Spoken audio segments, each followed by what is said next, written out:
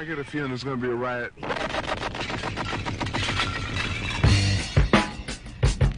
I don't read the newspapers because they all have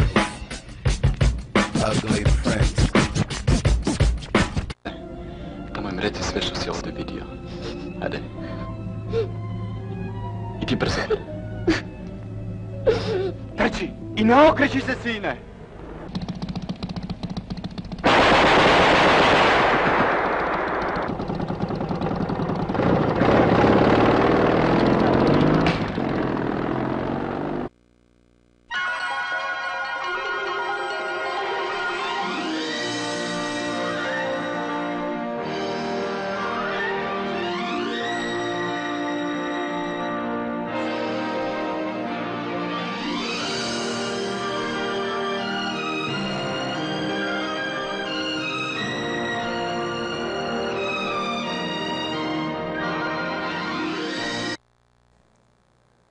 Dobar dan. Pratite novo izdanje emisija U raljama demokratije. Ja sam Aleksandar Sjekloća, sa mnom u studiju je Miloš Knežević. Koliko god se razvojem e, sredstava komunikacije i svih pratećih, da sada nabrajamo, sadržaja koji u zadnjih stotinja godina postepeno prave jednu dosta široku i duboku mašinu ili konstrukciju, zovite to kako god hoćete, koja daje mogućnost za informisanje, stvaranje određenih e, stavova, narativa u dosta širokoj masi, da ne kažemo apsolutnoj populaciji, čak i globalno, a nekako to gledate na nivou bilo koje zemlje ili zajednice. I kako god se ovo nazivalo nezavisno, objektivno i tako dalje, svaka mu čast, jeli, ne treba zaboraviti da se od početka razvoja ovakvih sredstava ona dominantno i nazivala upravo po onome zašto su i služila, a to su bila sredstva za propagandu. I dakle, kako, kolika god i kakva god danas ta propaganda bila, koliko god taj mehanizam bio razvijen, došao već do nekih, možemo slobodno reći, i posthumanističkih ili nehumanih ovaj, nivoa u svojoj eksploataciji, to nam nije danas predmet priče. E, kao što rekao, koliko god to može daleko dode i daleko da razvija, po meni, ako ćete činjenično stanje i realnost objektivno da se gledavate, vi u nekoj konačnici možete ipak doći do nekih osnovnih postulata i do nekih stvari koje u stvari i zajednicu i društvo i državu i odnose u društvu ovaj, po mom mišljenju su isti kao što su bili, kako ide ovaj po onoj staroj, na ovom svijetu i pod ovim nebom ništa nije novo i apsolutno sam siguran da ovo može da se i za ovo sadašnje vrijeme, nezavisno s koje tačke na planeti ovome da pričamo, znači apsolutno ovo po meni priča koja je primjenjiva na globalnom nivou. Sad naravno negdje su konsekvence ovoga manje tragične, negdje su više tragične, a negdje su već kardinalne i fatalne, nažalost, nadam se da griješim. U naslovu ove emisije figurira termin idiot, znači nadam se da pogotovo ko prati moje emisije zna da ja ne volim olako da etiketiram, pogotovo da vrijeđam. Ko zaslužuje, zaslužuje, sam se nađe. E, nisam slučajno stavio ovu riječ, nego sam stavio upravo da bi ona bila početak elaboracije i objašnjenja upravo ovoga što je i predmet ovaj današnje emisije a to je da se shvati e, transformacija zajednice i transformacije države i pogotovo ovoga što se trenutno i globalno dešava, znači u ovom novom, u ovoj novoj narednoj paradigmi koja postepeno već po meni već i dosta izašla iz ove dosadašnje i već se može i obrisi kako će izgledati ova nova vrlo precizno i plastično više opisati. E, da ne zvuči sad e, sujetno ili pretenciozno, po meni ko je pažljivo analizirao i ovu dosadašnju paradigmu i od početka razmišljao gdje ona vodi i čemu će da rezultira, mislim da ovo što sada dolazi ne bi trebalo da ga iznenađuje, već da upravo po ovim osnovnim i primarnim, da kažem, parametrima koje je htio da gleda stvari, njemu je davno jasno gdje ovo može da završi i u kojoj će naredno, znači evolutivno u nekom momentu, a taj moment po meni se upravo već i desio, ovaj, ovo da ide dalje. Dakle, ajde da mi se vratimo na osnovno istorijsko, antičko i kroz dalje čitav period značenja riječi idiot. Idiot je znači bio onaj ko i odbijao da se bavi politikom. Još preciznije imate E, tumačenje da su idioti oni koji se zavaravaju sa time da zbog nekog materijalnog dobra koji obezbijede sebi ili svojoj porodici na uštrb vlastite države ovaj misle da su s tim nešto ovaj riješili, prosperirali i obezbijedili vlastitu budućnost. Ovo može da bude e, zaostalo tumačenje i gledanje, ali ja sam apsolutno siguran i sada i svo ovo vrijeme da je ovo apsolutno tačno i da upravo, ako ćete da pogledate sve što se nebitno da li na ovim prostorima ili negdje drugo dešavalo, kako god ono bilo upakovano i ideološki i postideološki, ovaj, e, mislim da je krajnje primjenjivo, pogotovo kada pogledate rezultate ovakvog jednog ponašanja u dužem vremenskom roku. Faktički već ima nekoliko decenija da se može sve ovo sagledati i da se više i rezultati jednog ovakvog poredka mogu i u materijalnoj sferi, ali što je još više bitno po meni i u ovoj sferi organizacionoj, a kroz onda ako ćemo dalje kulturno moralnoj moralno ili kako god dalje idete, da se neki rezultati ovaj već mogu vidjeti, izračunati, e, koliko se oni kome sviđaju, koliko će ko da ih relativizuje i iz kojih razloga, to je već druga stvar, ali po meni veoma je izvodljivo i prosto podvući trtu da se vidi šta u stvari ovakav, e, ovakva paradigma kakva je bila do sada,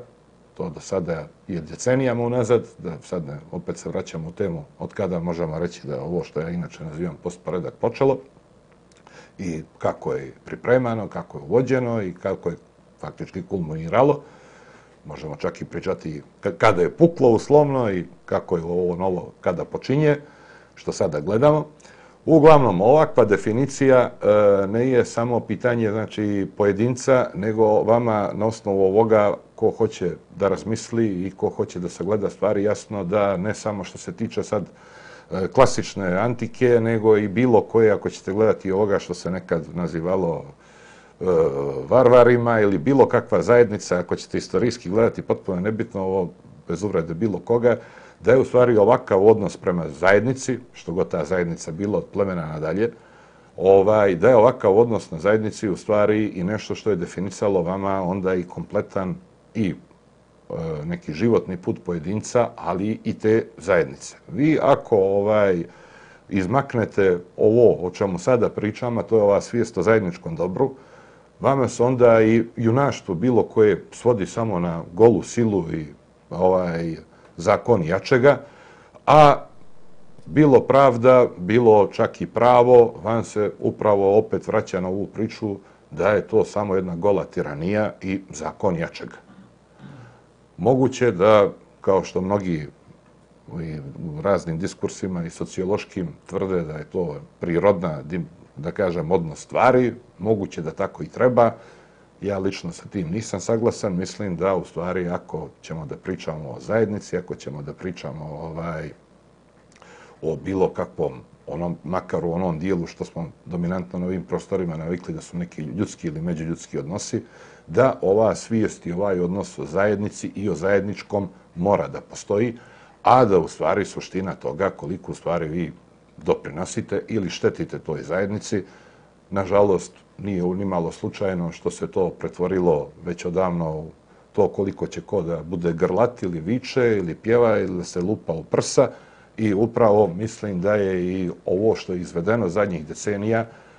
izvedeno kao što sada da ne zalazimo u neke detalje i da se ponavljaju neke teme koje ne samo u mojim misijama nego i na ovom radiju često možete čuti koliko u stvari nešto fingirano, koliko je nešto izvorno, koliko su neke stvari koje zbirno smo navikli u raznim fazama da mislimo, doživljavamo ili nas neko ubjeđivao da su ovaj dobronamjerne po zajednicu ili naciju, da su patriotske ili već da ne upotrebljavam neke termine, koliko su u suštini patriotske ili nisu patriotske, koliko su dobre po zajednicu i, ili nisu. Uglavnom da u ovom dijelu idemo dalje. E, po meni, bez uvrede bilo koga, svi koji se na ovaj način, kako sam opisao, ponašaju prema vlastitoj zajednici, u kojoj god, znači kogod i u kojoj god zajednici, ali znači koji se po ovakvom kriterijumu ponašaju, ovaj, oni u stvari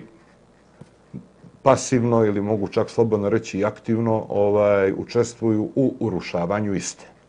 Jer zajednica uz ostale ovaj, e, atribute, osobine ili svojstva ima i nešto što se potpuno jasno smatra i zajedničke vrijednosti u materijalnom smislu i obratite pažnju kako se u ovom procesu zadnjih decenija taj dio u tom materijalnom dijelu linearno i sukcesivno urušavao, gubio dok se na kraju nije zagubio. Ovdje dolazimo, zašto kažem da ova priča globalna, dolazi se do jedne ovaj vrlo očigledne stvari koju sam često u formatu emisije Kosmopolitika naglašavao, da kad vi pogledate trenutno globalno e, gdje se nalaze zemlje, vidite da u stvari u najvećem dijelu njih više neka javna imovina u raznim formatima, što god to javna imovina značila, bilo od javnog vlasništva nad određenim sredstvima za proizvodnju, javnih, jasno, javnog vlasništva nad određenim monopolima, javnog vlasništva u smislu posjedovanja vlastitih eh, na kraju i vojske, oružanih eh, sredstava, sile.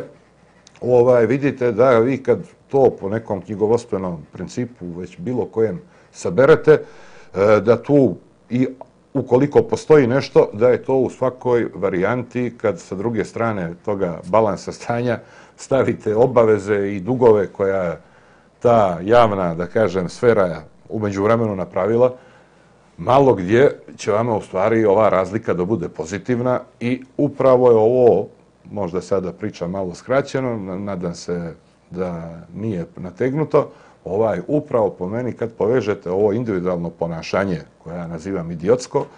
vas vodi u konačnici nakon nekog perioda da vi u ovom kolektivnom dijelu, znači u ovom pitanju nečega što se zove ili javno vlasništvo ili što čak postoji termin javni kapital, na kraju imate negativan kapital da upotrebujem ovaj klasičan e, knjigovostveni ovaj termin. Sad u svemu ovome postoje, po meni, ja u ovome već nekih 30 godina pokušavam da neke stvari sistematizujem, e, uporno propitujem, e, pokušavam da vidim koliko ima što, što bi rekli, sa čim veze ili nema i kako je možda najispravnije neke stvari nazvati ili uzroke u čemu tražiti. U svemu ovome imate dva nivoa ove strukture, da je tako nazovem. O, to je ovaj prvi elementarni koji u svemu ovome premnogo i ne razmišlja, što bi rekli, doživljava sve to kao posao kao inače. Možda je dijelimično ili u nekoj posvijesti svjestan da to u konačnici neće da bude dobro i da objektivno i nije dobro, ali niti je previše svjestan ni mehanizma u kojem se nalazi i kojem služi, ako ništa drugo služi na taj način što aplaudira, sve dok ovaj u nekoj mjeri dobija već nešto što njega opet u ovom materijalnom dijelu i egzistencijalnom zadovoljava koliko toliko. To je ona korupcija naroda, ponavljamo, koja je uporno evo, u raznim formatima priča. Međutim, ima i drugi sloj u ovoj priči, a to je dio koji u svemu ome vrlo dobro svjestan, bilo da su svojim obrazovanjem upoznati s ovim fundamentalnim kategorijama e, i strukturiranja i funkcionisanja društva,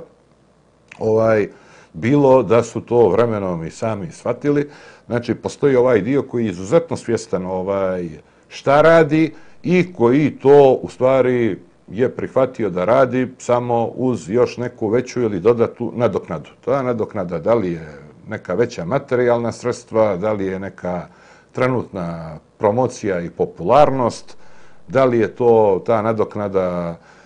izbjegavanje nekih kazni i prekršaja koje već nebitno prema kome moćnijeme iz kojega perioda ovaj svoje ovaj karijere ili aktivnosti od prije neko ima.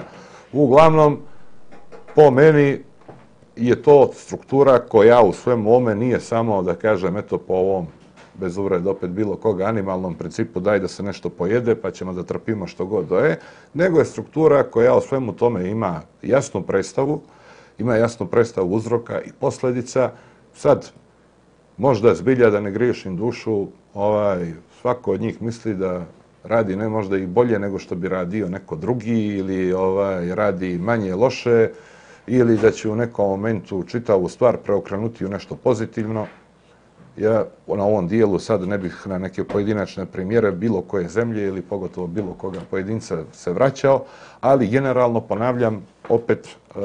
a ne slučajno, vi ovu matricu možete vidjeti i na globalnom principu kako funkcioniše čak i u zemljama koje su bilo svojom nekom tradicijom, bilo političkim, istorijskim iskustvom,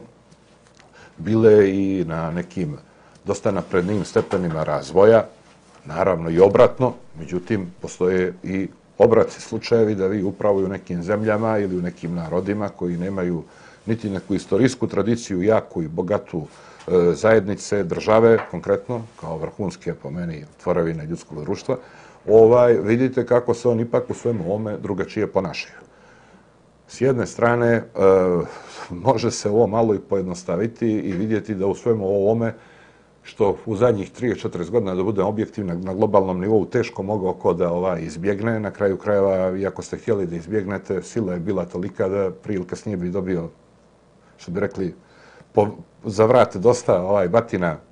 onaj ko će otvoreno da uđe u sukop s ovim da sad ne zalazimo jeli, u pojedine događaje na međunarodnoj sceni zadnjih 40 godina, 50. Međutim, opet se sve svodi na ovo poštenje unutar vlastite zajednice, jer vi koliko god da ste možda ovaj e, neoliberalni, kako ga zovu, ili monetarizam, suštinski, kako se zove, poredak morali da prihvatite to, ne znači da ste vi unutar toga morali da baš krajnje sakatite ovaj, svoju zajednicu, a također, što se vidi na primjeru brojnih zemalja, i u takvom poredku oni koji su zbilja htjeli da nešto budu i odgovorni i da stvaraju, mogli su ovaj svoje zajednice postaviti da u svemu tome na kraju i nešto profitiraju. Da ne nabrojam sada od Kine pa do raznih drugih zemalja, što bi nas sad opet uzelo mnogo vremena, jer bi onda morali ulaziti i vidjeti u stvari koji su to unutar politički principi i organizovanja društva, koji vas u stvari iz ove sfere otvorene korupcije naroda, koja je u stvari samo dio i paravan za jednu veliku korupciju u ovom upravljačkom sloju društava, to jedno bez drugog apsolutno ne može da ide, tu se ne treba zavaravati, zbog čega u nekim zemljama to funkcionisalo i funkcioniše na drugi način. Također u ovome koliko je ovo da se shvati i zbog čega sada upravo u ovoj fazi transformacije poredka imate ovako neke čudne stvari na međunarodnoj sceni, koje možda ljudima dosta i često nejasne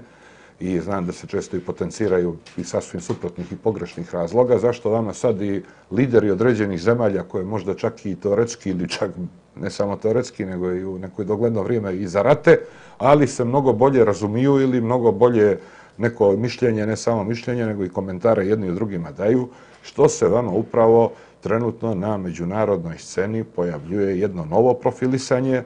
u prvom redu vođstva, i da ovo pitanje korupcije, koje kažem, ja najčešće spominjam ovu korupciju naroda, ali znači ponavljam, ta priča o korupciji naroda vama apsolutno ne može da postoji tamo gdje nije korumpirano vođstvo. I upravo da se sad opet ne vraćamo u jedan dio ovaj materijala koji prikladniji i koji najčešće obrađujemo u formatu emisija Kosmopolitika, nego da sad iz ovoga, a u, prateći ovo što se i trenutno dešava i sa nekim malim povratkom ovaj u događaje zadnjih decenija i godina i lokalno i globalno, da malo u stvari izdetektujemo mi kako onda vi u svemu ovome možete vidjeti koji je u ovom periodu gdje god se nalazio, bio koliko toliko savjesan ili ko je bio ološ ili fukara, kako ja to nazivam, pa sad ako se neko prepoznaje, iako je ovaj uvrijeđen, neka tuži. Gdje god ima na više lokacija mogućnosti. E, ovdje po meni postoji jedan vrlo prost i jednostavan način kako vi to možete primjeniti gdje god da se nalazite. I e, ne bih želio da opet ovo sad zvuči pretenciozno, ali doslovno sam primijetio da vrlo često ovu metodologiju, koliko god na, možda nekad i na E, malo specifičan ili neobičajen način koristi u ovome što zadnjih e, dvije godine na javnoj sceni i na političkoj sceni Amerike radi trenutni predsjednik Donald Trump, a ona se vama u stvari svodi samo na to da vi vidite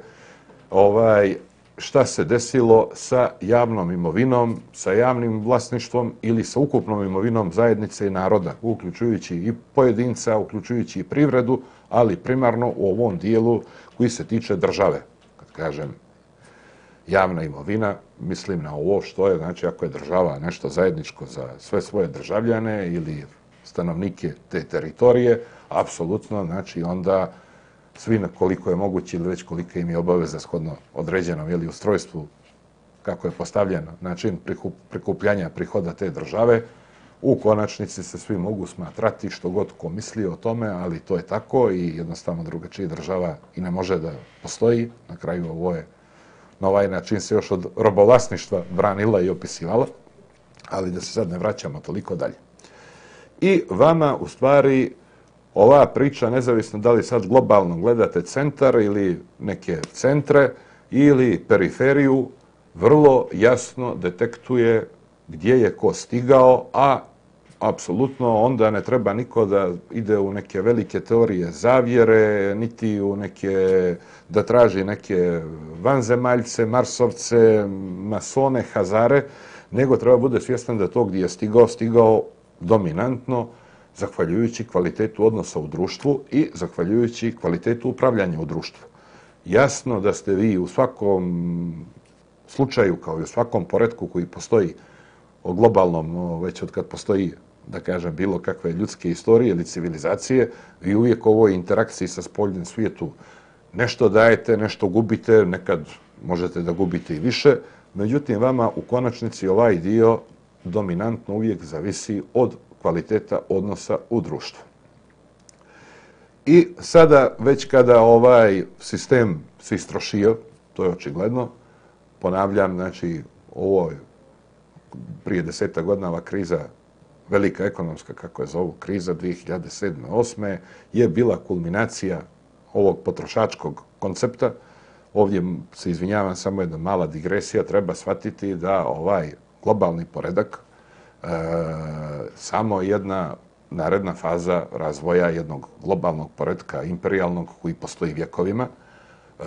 na kraju to je neka logika i tehnološkog razvoja civilizacije. Tu ne treba čovjek da ima u startu nikakve a priori negativne ovaj konotacije prema njemu. I ako ovaj dio kojem najčešće pričamo, to je konstrukcija monetarnog, finansijskog poredka, vi ako pratite evoluciju svega toga, vi jasno već tamo od druge polovine 19. vijeka kroz odnos e, glavnih svjetskih e, centralnih banki, odnos toga što je u kojem momentu bio novac, što je bilo pokriće novca. E, faktički treba samo posjetiti da ste prije nekih 150 godina vi na čitavoj planeti imali samo par nekih valuta u opticaju, bilo da su bile kovanice zlate ili srebra ili papirni novac kako u kojem momentu i vama je u stvari čitava ovaj projekat e, zadnjih stotinja godina, da ne idemo sada dalje, ovaj evoluirao u jednoj fazi, da se sada ne vraćamo, na krizu iz eh, 29. i 33. godine prošlog vijeka, u jednoj fazi nakon drugog svjetskog rata, eh, nakon Bretton-Woodskog eh, sporazuma, on je bio definisan na jedan način, to se istrošilo nakon nekih 20 godina, manje od 30, napravljena je jedna nova konstrukcija i ta konstrukcija je znači 2007. 8. i ona je prevaziđena, prevaziđena jednostavno jer je ovaj kontrapunkt u jednom momentu kako se ta monetarna masa eksponencijalno rasla, u jednom momentu jednostavno ovo potrošačko društvo, znači ovaj život i zajednica i pojedinaca na kredit, do te mjere ovaj eksplodirao da je na kraju morao što bi rekli da implodira sam u sebe, urušio se, doslovno više vama rast koliki god daje, čak i kad je neki značajan, e, ne samo da vam suštinski ne daje boljitak i rast, nego jedva pokriva i kamate. Malo pojednost, ne malo, nego čak i možda malo više pojednostavljujem stvari, ali čisto da bi mogli ići dalje. E, sad, znači, u ovom periodu koji je uslijedio nakon toga, koji je neko međustanje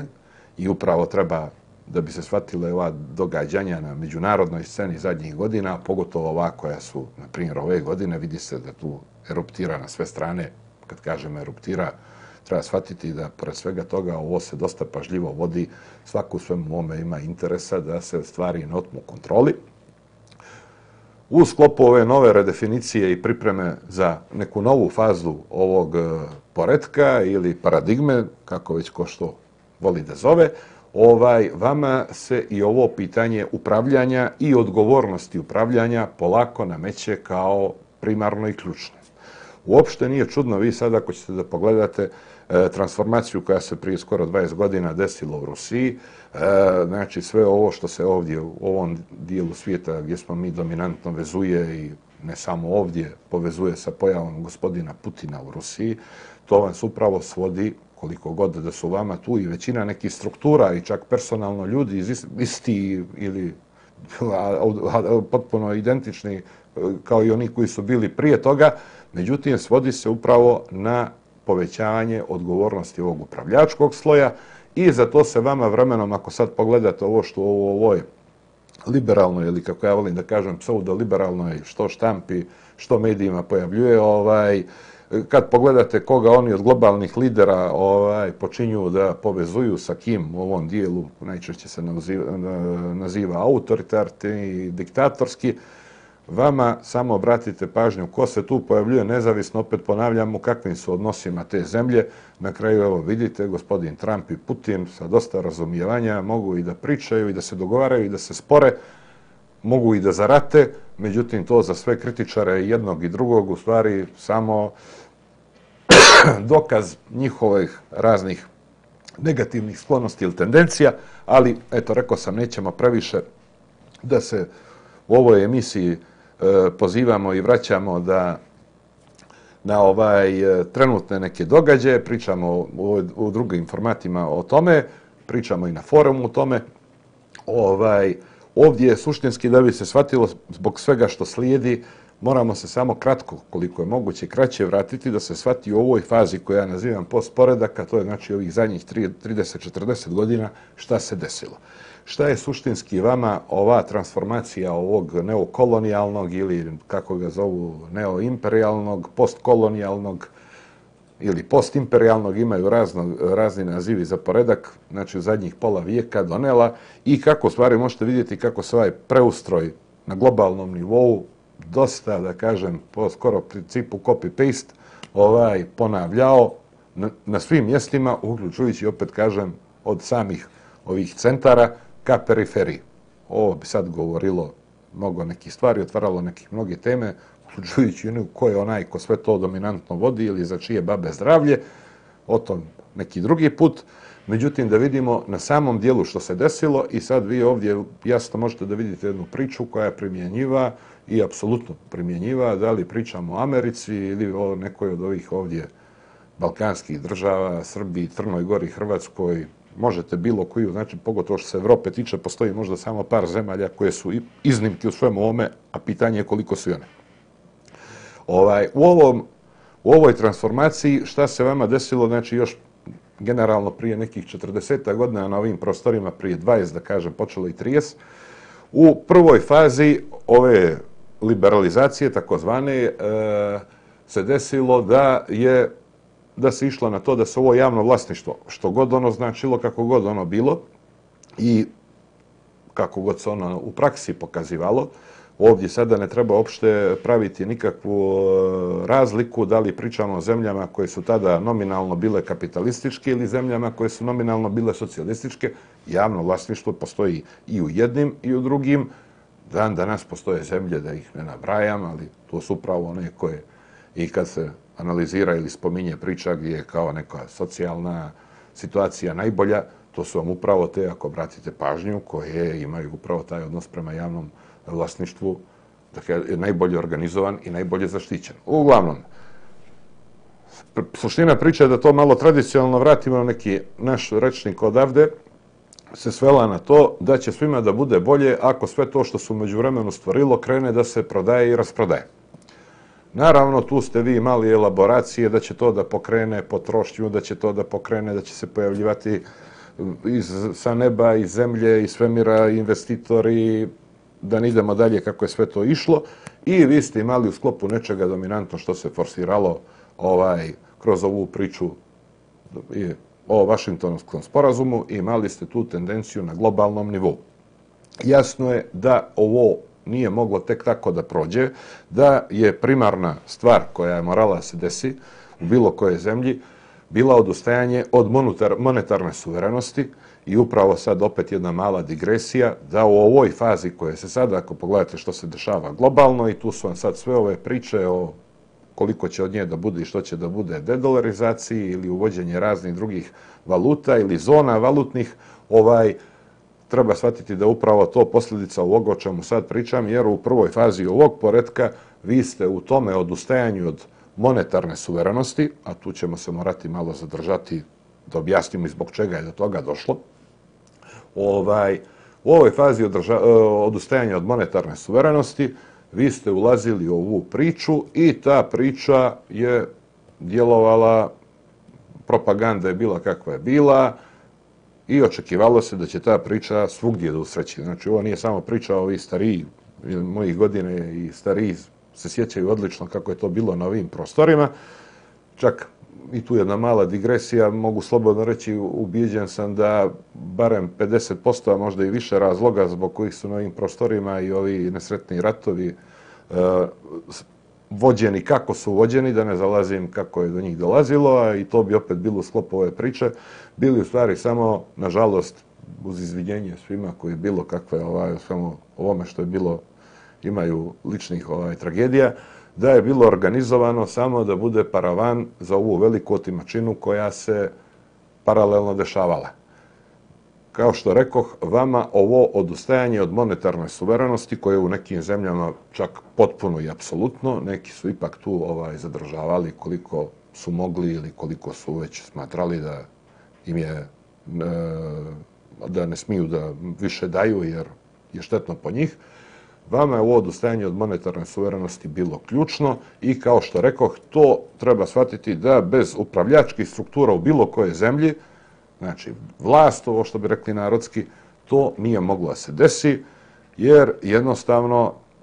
vi tek tako monetarnu politiku ne dajete nekome. Zbog čega je predata monetarna politika? Predata je upravo zbog toga da se vratimo, ako je ovaj sistem i na globalnom nivou napravljen kao jedan oblik dosta efikasnog upravljanja i prevazilaženja znači, iz nečega što je nekad bio imperializam ili kolonializam u jednu novu fazu gdje će manje više taj poredak efikasnije i sa manje otpora da se ovaj primjenjuje. Vama je i na nivou zemlje, ako ćete gledati bilo koje, ovaj, ovaj poredak nudio da upravljačke strukture, makar one koje su u tom momentu na pozicijama da mogu da upravljaju i vode neke procese, po cijenu, ako znači, zaborave i vrate se na ovo, dakle smo i počeli emisiju opšti interes, javni interes i budućnost zemlje i zajednice, ovaj, njima je ovo sve nudilo mogućnost da u stvari oni u svemu tome izuzetno dobro prođu i profitiraju. Da se sada opet ne vraćam na neke teme i da se ne rasplinjavam o tome šta u stvari ovako postavljen monetarni poredak i ovaj novac koji je više stvar, ovo nije moja definicija samo da ponovim, nego postoji u brojnim i to ozbiljnim ovaj, komentarima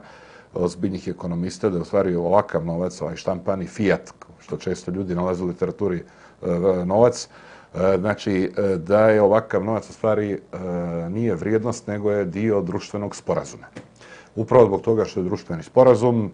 on sad niti je neko zlato u pozadini, niti je neka roba, može da bude sve od toga, a ne mora da bude ništa. Sutra može da bude dogovor da on vrijedi sto put manje, a može da bude dogovor da ne vrijedi ništa. Ovo se odnosi apsolutno na bilo koju valutu, ovo ne treba vezivati, ponavljam i to samo za dolar ili neku drugu, vama je trenutno na globalnom nivou postavljena priča ovako.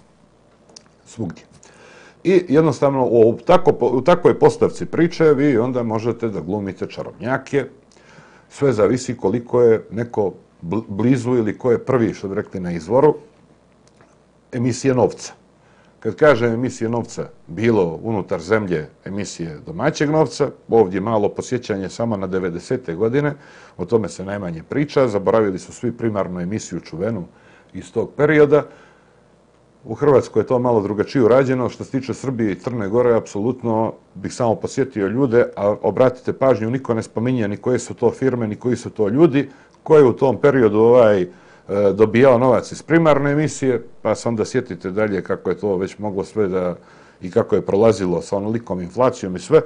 pa samo malo probajte da se presjetite koje su to firme, koji su to ljudi, pogledajte poslu u fazi privatizacije ili danas u fazi ove nazovi ekonomije privrede gdje se ko nalazi, samo da se vidi koliko ovo što ja pričam utemeljeno u događajima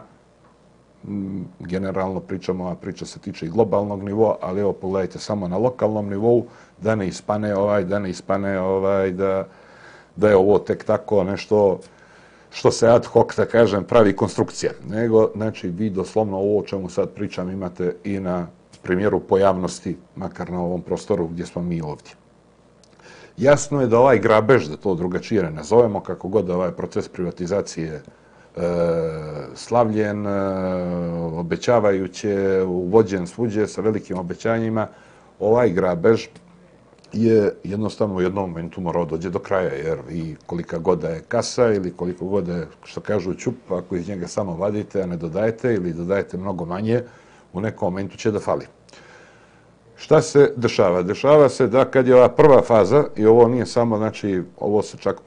mnogo prije nego na našim prostorima desilo brojnim drugim zemljama. E, kod nas je ova priča na kraju, ako ćemo da gledamo objektivno u usporedbi sa dobrim dijelom svijeta, dosta i kasnije došla. Ovaj, u drugoj fazi, više kada nema što da se razdijeli i da se proda, kreće naredna faza, a ta faza je zaduživanje. Zaduživanje kako zemlje, u smislu održavanja što unutrašnje potrošnje, ali i samog poredka, znači morate podijeliti neke ovaj plate, platiti makar neke policajce, ako ništa drugo, ove koji čuvaju upravljačke sloju zemlje, nebitno radili što drugo i kako rade. E, na kraju, opet zavisno od nivoa civilizacijskog razvoja na određenim meridijanima planete, negdje ipak morate održati još neke institucije na manjem ili većem kvalitetu. Ovaj, I jednostavno vama su zemlje nakon toga, kad kažem zemlje, mislim i države kao aparate, ali i zemlje kao kompletne zajednice, sve sa stanovništvom i državom, ulazile u zonu zaduživanja. To je išlo,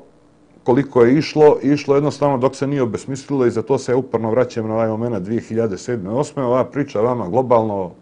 već decenijama trajala, E, malo ko je upozoravao gdje će to da završi,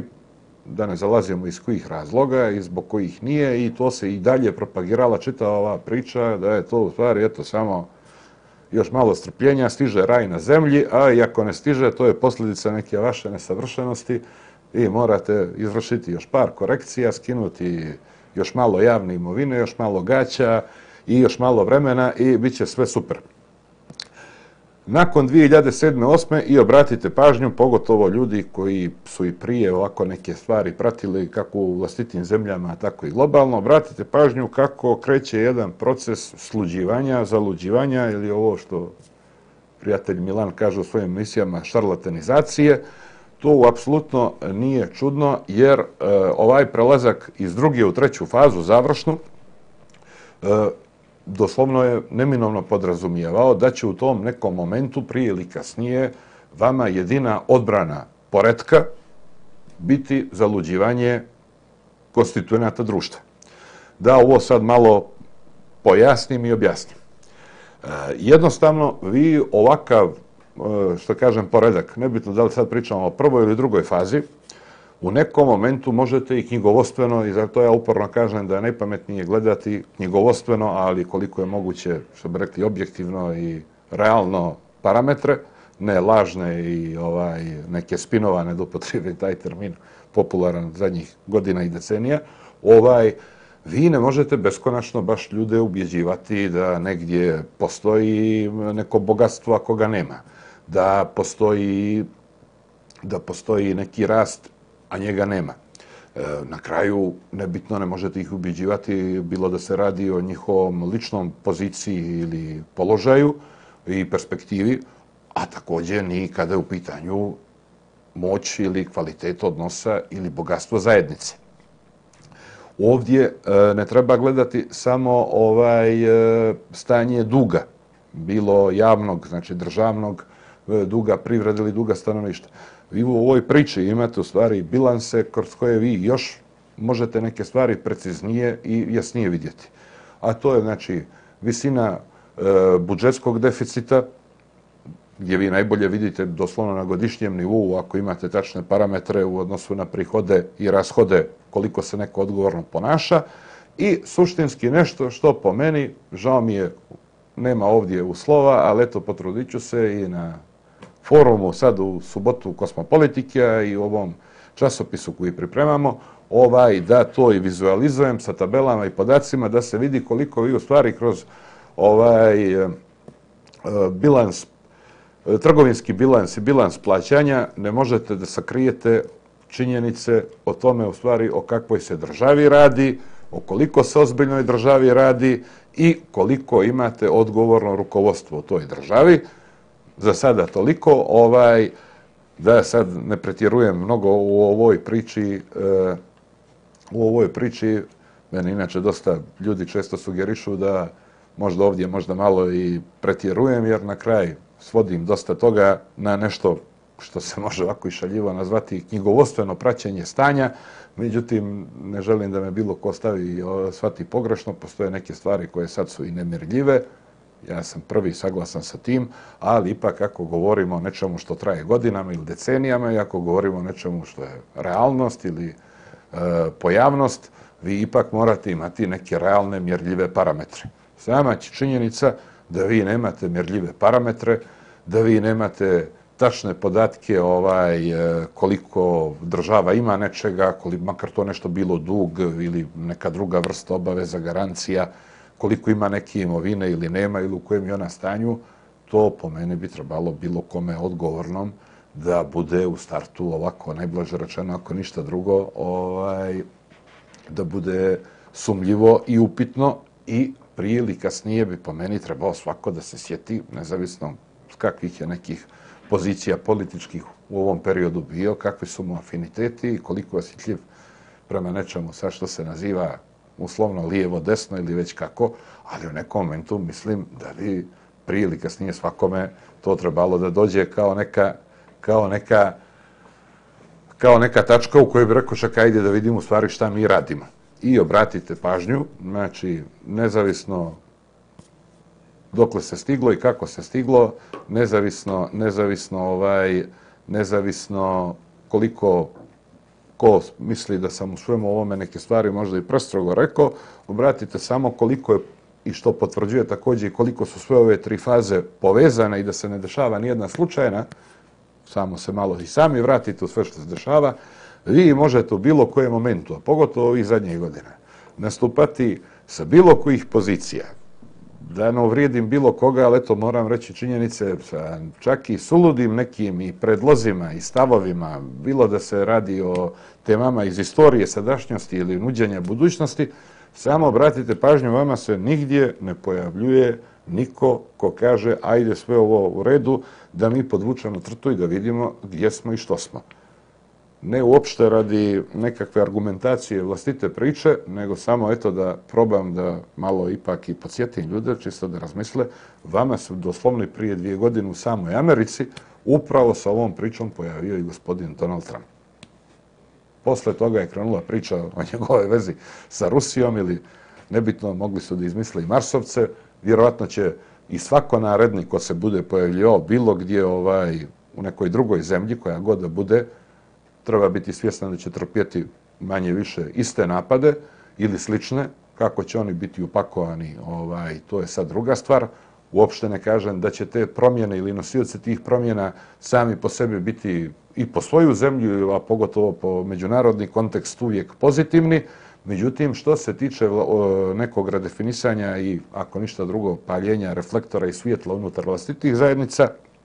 po mom mišljenju, to su uvijek ovaj pozitivne tendencije, jer one, ako ništa drugo, u konačnici vas dovode do nekakvog rašišćavanja e, stanja i, što bi rekli, paljenja svijetla, paljenja sunca, što bi rekli, pojave sunca, da se makar vidi gdje smo, što smo, što ko radi ili što ko ne radi i ona moja omiljena da se u konačnici pak zna za čije babe zdravlje ko nešto radi. Ko sad gine za naciju, a ko krade naciju i slične stvari da sad malo ne banalizujem priču koliko god na, nažalost ova priča nije banalna. Jasno je ovdje se tiče o tome što je bitno da se shvati da vama kroz ovu degradaciju javnog kapitala e,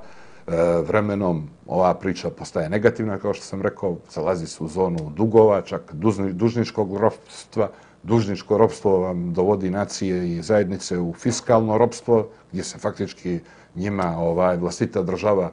kao aparat pojavljuje kao raketaš i doslovno u konačnici počinje da upotrebe ovaj narodski termin cijedi narod do te mjere da te više mu nema napretka, samo da bi servisirala neke vlastite dugove, čak u nekim fazama, to više nije ni pitanje razvoja države, nego doslovno čistog servisiranja dugova. Ovo, koliko god može da zvuči i kako god da zvuči, vi kad pogledate što se trenutno dešava i u ovim najrazvijenim zemljama, vidite da su u stvari i one u doslovno identičnoj situaciji, ako pratimo samo znači, ovu dimenziju priče, da su one u doslovno identičnoj situaciji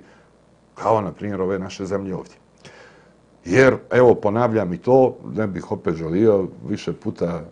e, to naglašavam, često u svojim ovaj, emisijama, niti ja propagiram gospodina Donalda Trumpa, niti imam kakve veze s njim, ali jednostavno u ovom ideološkom dijelu ja uporno moram da naglašavam, jer, ponavljam, samo se treba vratiti, pogledajte šta čovjek priča u Americi, razmislite da to neko priča, a pogotovo još ako bi Bog dao u nekom momentu i pokuša da radi u vašoj zemlji, da li bi vam bilo ovaj milo ili krivo.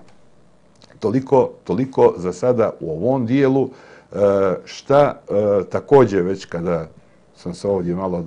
češće dotakao Amerike, treba shvatiti. U ovom novom, u ovoj novoj paradigmi i ovoj novoj transformaciji ovaj, e, poredka, jednostavno ove zemlje koje imaju vlastitu valutu koje su valute priznate u smislu da su bile na globalnom tržištu međusobno konvertibilne i prihvaćene. E,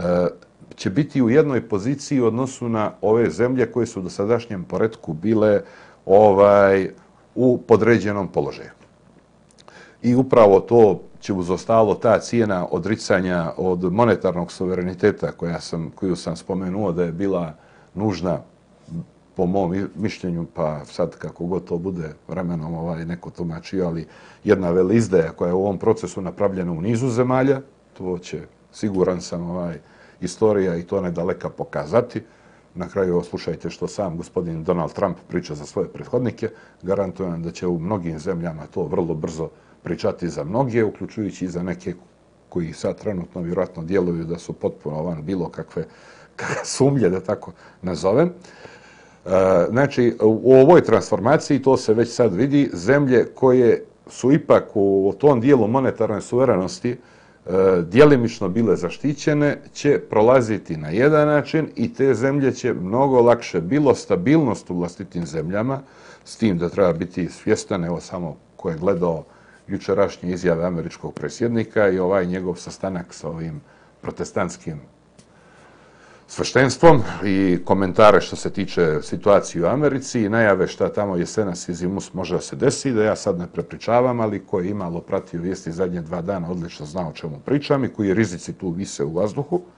Znači, ova transformacija će svugdje biti kritična e, i vrlo će se teško u mnogim zemljama, čak i u zemljama koje su i dosta bogate, E, obzirom na sve dokle su razne stvari podijele u društvu po raznim osnovama od ideoloških, materijalnih i tako dalje sprovoditi. Veoma je upitno kako će se ovo, da kažem, provući kod ovih jačih. Međutim, na, ovdje će tek da bude cirkus, slobodno da upotrebujem taj ovaj, termin i tu riječ da poveže sa ovom emisijom od utorka, u ovim zemljama koje su u ovom procesu i u ovom periodu apsolutno bile digle ruke od monetarne suverenosti i čija se monetarna suverenost bila svela doslovno na praćenje ovih globalnih igrača, da li je to Međunarodni monetarni fond, da li je to Svjetska banka, Da li su to ove velike, glavne, da ih tako nazovem, e, centralne banke prvog reda, ovaj, jer te zemlje su u svom ovom procesu stvorile e, ogromne obaveze u tuđoj valuti i one sad imaju doslovno sljedeću u ovome kako se sada mijenja i konstrukcija odnosa po više osnova, nisu to samo ovi carinski ratovi i najave trgovinskih ratova, nego i mnoge druge stvari kako se mijenjaju, one će sada biti u ogromnom problemu jer će one to što su do sad primale, ne baš kao kisonik jednostavno, ali za neku svoju poslušnost i prihvatanje ulogi u globalnom poredku, relativno su mogle spokojno, ako ništa drugo, da reprogramiraju vlastite dugove i pomalo stalno zadužuju. Ovaj, sada će to doslovno gotovo nemoguće morati da vraćaju. Kako će vraćati, ko će vraćati, kakve će posljedice biti i na unutrašnjem političkom planu i na spoljno-političkim planovima nemogućnosti vraćanja tih dugova, kakve će to cijene da ima, e, šta će u svim ovim sad dinamika svih ovih procesa da dovodi. E, ne želim, izvinjavam se ako sad i sam možda djelujem malo e, možda čak i haotično, ali budite sigurni da ništa ovdje olako ne pričam, niti sam konfuzan, nego jednostavno evo samo da kažem, pogledajte šta se dešava upravo ovih dana, čak i današnjeg dana, to već traje par mjeseci, širom svijeta u mnogim zemljama, E, ovdje se kod nas o tome mnogo ne priča, ali evo da se sad samo ovu, da kažem, prihvaćenu međunarodnu terminologiju iz mainstreama koristim, da se vama redom urušavaju sve, sva ova tržišta i valute svih ovih zemalja koje se zovu tržište u razvoju ili nekadašnje zemlje u razvoju. Ovaj i da jednostavno trenutno ne postoji način i metod da se u okviru dosadašnjih načina kako se to peglalo i što se radilo raznim reprogramama i e, drugim aktivnostima, u ovom momentu ne postoje uslovi da se to riješi, osim da proizvede urušavanje čak i ovih zemalja prvog reda, da ih tako nazovemo. I upravo nije slučajno, samo gledajte, opet ponavljam i u ovom kontekstu, gledajte Tursku, ovaj, e, kako se ona sa tim bori, kako to onda vuče političke promjene, geopolitičke promjene. Naravno, ako vi imate mogućnost i snagu da te promjene, da krenete u njih, pitanje dokle će i oni stići, kako će stići, u šta će stići. Ovaj, u svakoj varijanti treba shvatiti da ovo sve što je za njih nekoliko decenija, e, pogotovo na ovim prostorima, koliko god bi se možda originalno moglo naći zbirno ime za strukturu koja je za ovo kriva, čak vi pojedinačno, personalno, toliko se tu izmijenja, izmijenjalo raznih uh, aktera u ovoj priči, što bi rekli u mom zavičaju kao na macu ili macolu, kako vi ovdje kažete, ovaj, da bi sad bilo koga personalno vi rekli kriv je za ovo, ali je vrlo jasno koja je struktura kriva i vrlo je jasno, ponavljam, da se čitava priča svodi na odustajanje od vlastite suverenosti u monetarnom dijelu, onda vam je ona ušla paralelno u svim drugim segmentima e, suverenosti, e, zajednice i zemlje, to se da bi se održavao poredak i aktuelna vlast koja god u kojem momentu bila vazda pravdalo na određene načine, e, propagiralo s određenom propagandom, obećanjima, najavama. Čak i sada, kao što se vidi u mnogim sferama, još uvijek se odbija da se prihvati ovo što ja kažem, se pogleda ovaj konačan rezultat i uporno se bježi od toga da se u nekom momentu kaže ok, e, podvučena je crta, ovo je ovoliko uspješno, ovaj, a ovoliko neuspješno. Dakle, šta je također, da ne preskočim da kažem u ovoj emisiji. Ovaj proces koji se trenutno dešava, to jest da ne upotrijebi možda prerano, ali mogu reći i kulminira ovi zvola zbivanja koja se trenutno na međunarodnoj sceni dešavaju, E, apsolutno će vrlo brzo da dovedu jednu novu realnost. E, među nama, ko je htio i ko je htio da zađe dublje, mogo je ovo da dosta davno vidi i gdje će da stigne i gdje se već nalazi. A ta nova e, E, stvarnost će biti da ćete vi sad još lakše i čak očigledno moći da vidite da na planeti postoje samo dvije vrste zemalja i nezavisno od e, bilo rasne i e, nacionalne, vjerske i kakve druge pozadine svake od njih. a to će biti zemlje koje su suverene i bit će zemlje koje će u konačnici biti samo rezervati idiota. Idiota u smislu koje sam ovaj, opisao na početku emisije. I treba će tu sigurno dosta raznih e, i spektakala, i koncerta, i festivala, i televizija, i serija da se ovo prikrije, ali mislim da e, ovaj elementarni izbor će teško uspjeti da prekriju što god i koliko god se trudili, jer će, da kažem, sam realan život ovaj, ljudima otvarati oči, možda ja grešim, izvinjavam se ako, ako sam u čemu pogriješio. Eto, za danas toliko, malo sam probao da koliko toliko razne neke teme, neke diskurse i ne samo diskurse, nego i pravce, po mom mišljenju opišem, kako ih ja vidim, povežem sa stvarima koje po meni traju ili se nisu prekidale decenijama da ne idem dalje, da ih povežem s nekim stvarima koje smo ovdje sami vidjeli, što bi rekli na samom dijelu, bez nekakve sad akademske rasprave šta se dešava na drugoj strani svijeta i da vidimo gdje su ovaj eh, u svemu ovome eh, gdje se i gdje će stvari da stignu. Na kraju, evo sad u subotu prvoga na ovom narednom forumu u četiri sata samo da informišem eh, koji dolaze opet na starom mjestu Blagoje Parovića 17, ćemo upravo pričati o tome šta je sada u ovoj fazi transformacije to e, šta je primarno i bitno i da se prati i gleda i kako da se postavi, jer jednostavno ponavljam vama i u ovom dosadašnjem i u ovom dosadašnjem e, poredku, pričam globalno, velika razlika bila kako su se društva i zajednice same sa sobom ovaj i unutar sebe ovaj organizovale e, i postavljale. E, čak što više i da s tim zaključim, ako ima jedna možda uvrnuta, ali po meni dosta i poštena transformacija poredka, a ogleda su sljedećeme. Ako je vama prije nekoliko vjekova ili da ne idemo možda i nekoliko decenija u ovom uh, raspodjeli i borbi globalnoj, to što ste pripadali nekom narodu koji je brojčano slabiji od nekog drugog ili je tehnološki ili organizacijono malo e, zaostali, pa nema mogućnosti da se odbrani od gole sile. U ovome što sada već definitivno dolazi, ja sam apsolutno siguran da će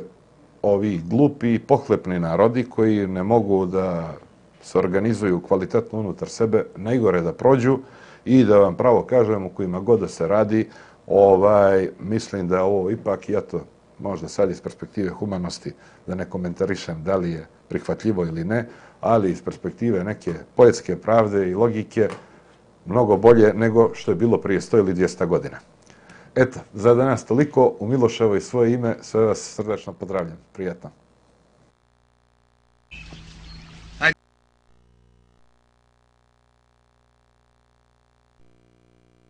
Izlazi iz te vode. Idemo tamo na travu ti objasnim. Ma šta da mi objasniš? Ti objasnim neke stvari. Hajde.